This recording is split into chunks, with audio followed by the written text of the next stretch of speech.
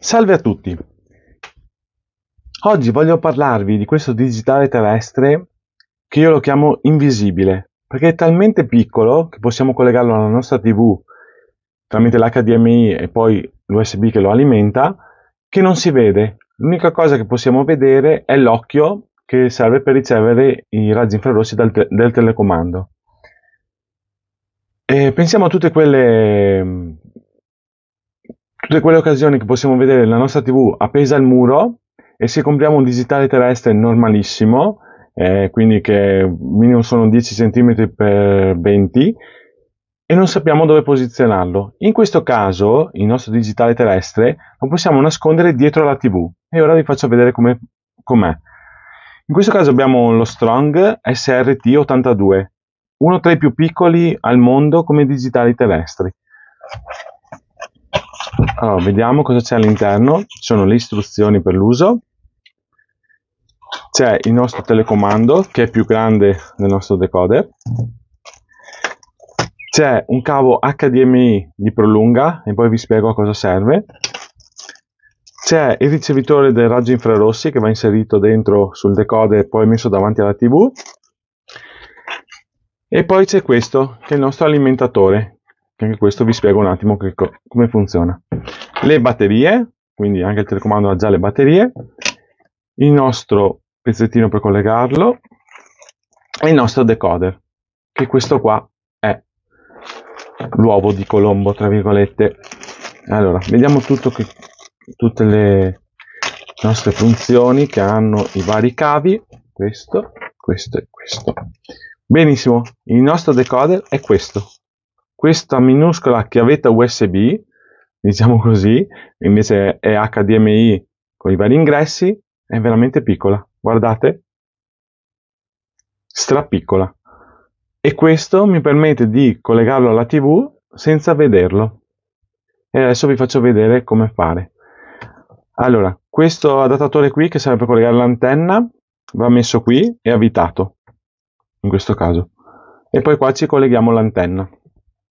Bene, questo è l'alimentatore, quindi se abbiamo una TV con eh, l'ingresso USB possiamo collegarlo qua e alimentare il nostro decoder, così quando accendiamo la TV si accende anche la, la nostra USB e in più come vedete questo è uno sdoppiamento, collego l'USB alla TV e questo posso collegargli un hard disk una chiavetta, mi resta sempre l'USB libero e adesso vi faccio vedere come collegarlo. Bene, questo è il retro della nostra TV. Allora, prendiamo il nostro decoderino, lo colleghiamo all'HDMI, che è qua. Ok? Così. Bene, collegato. Allora, il problema qual è? Che se io vado a mettere che questa TV è appesa al muro, quindi è piatta così, questo sporge e non va bene. Allora, o lo collego all'altro HDMI che è qui, nel fianco, come vedete. Quindi va messo così ok? Quindi qua l'antenna l'HDMI va collegato qua. l'USB che va a alimentarmi il mio decoder lo collego qua. Benissimo. E quindi mi resta sempre l'USB libera per collegare qualcos'altro. Oppure quel cavo che abbiamo visto di prolunga HDMI a cosa serve? che se noi lo colleghiamo qui perché questa HDMI magari è occupata oppure non è questo resta libero. Quindi vado a collegare l'HDMI qua. Questo lo metto qua. Ah, pensiamo sempre alla nostra tv appesa. Posso metterla come voglio ok? Questo serve quella prolunga. Adesso io in questo caso vado a metterlo qui in modo che non si vede niente. Collego il mio cavo dell'antenna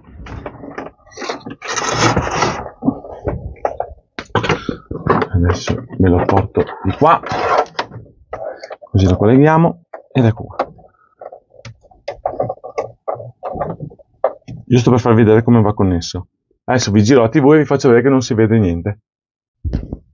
Ok come vedete ho, ho collegato il mio decoder. L'unica cosa che spunta dalla tv è questo occhietto qua che serve per far ricevere il nostro telecomando. Strong più grande telecomando del decoder quindi vado a mettere il mio ricevitore, qui posso posizionarlo nell'angolo, posso posizionarlo qui, qui, dove voglio io. Vado, adesso vi faccio vedere come fare la ricerca. Mettiamo eh, lingua italiano, bene, paese Italia, okay, Italia, ricerca canali, gli do ok e lui parte con la registrazione. Quindi in questo caso io ho la mia tv, mettiamo che sia appesa al muro, che sia in alto, che sia che non voglio vedere niente davanti, ok? Perché voglio la pulizia totale. Questo è il decoder giusto, in modo da non avere né cavi né... L'unica cosa è questo occhietto qua, che possiamo metterlo qua nell'angolo, nascosto, dove vogliamo. Comunque l'importante è che sia davanti per ricevere gli infrarossi del nostro telecomando. Adesso gli facciamo fare la ricerca poi una volta fatta la ricerca, basta. Basta selezionare la sorgente sulla TV, in questo caso io l'ho collegato sull'HDMI 2 e lì basta andare a selezionare HDMI 2 e vedo il tutto. Come sto vedendo adesso la ricerca dei canali. Bene, se il video vi è piaciuto mettete un like, iscrivetevi al canale e attivate il tasto di notifiche per restare sempre aggiornati sulle ultime novità. Grazie a tutti e arrivederci.